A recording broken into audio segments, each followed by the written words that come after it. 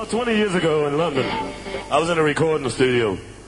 I was walking up the stairs, and I ran into this black Irishman with this like dub accent. And the man talked me into moving to Dublin. I've been living in Dublin for 13 years. You got the greatest city in the world. I love it. Right now, we'd like to play a song that Gus and Philo wrote called There's Always Someone Out to Get You. Thank you.